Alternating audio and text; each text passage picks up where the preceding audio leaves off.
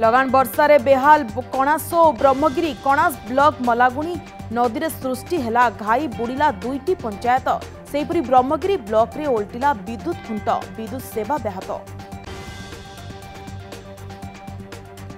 ଦୁଇ ଦିନର ଲଗାଣ ବର୍ଷାରେ ଜଳମଗ୍ନ ନୟାଗଡ଼ ଜିଲ୍ଲା ଗଣିଆ ବ୍ଲକର ଶତାଧିକ ପରିବାର ଗଣିଆ ବ୍ଲକରେ ଓସ୍ତିଆ ବସନ୍ତପୁର ଗୋଛବାରି ଗାଁରେ ଲଗାଣ ବର୍ଷା ଯୋଗୁଁ ଅନେକ ଘର ପାଣି ପାଇଁ ଲୋକେ ନାହିଁ ନଥିବା ଅସୁବିଧାର ସମ୍ମୁଖୀନ ହେଉଛନ୍ତି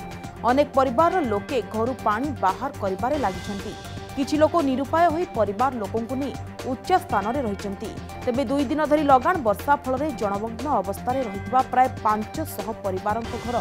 ବୁଲି ଜଳିପାରୁନଥିବା ବେଳେ ଲୋକ ଘଣ୍ଟା ଘଣ୍ଟା ଧରି ଉପାସରେ ରହିଛନ୍ତି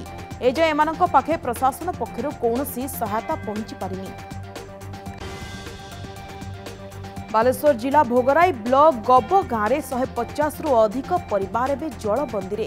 ଗାଁରୁ ବର୍ଷା ଜଳ ନିଷ୍କାସନ ହୋଇପାରିବାରୁ জমি রয়েছে পাঁচ এপর্যন্ত প্রশাসন সে নিকটরে পৌঁছি পারি না যা লোক মধ্যে দেখাদেছে অসন্তোষ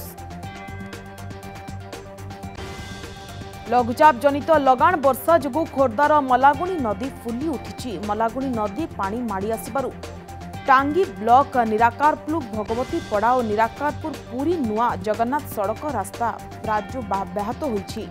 শহ শহ একর চাষ জমি জলমগ্ন হয়েছে নূয়া জগন্নাথ সড়কর